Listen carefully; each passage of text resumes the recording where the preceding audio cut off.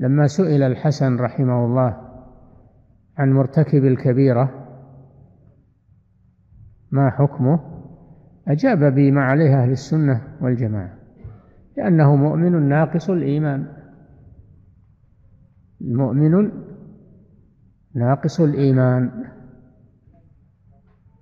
فلا يكفر كما تكفره الخوارج ولا يعطى الإيمان الكامل كما تقوله المرجئة. بل هو مؤمن ناقص الإيمان أو هو مؤمن بإيمانه فاسق بكبيرته.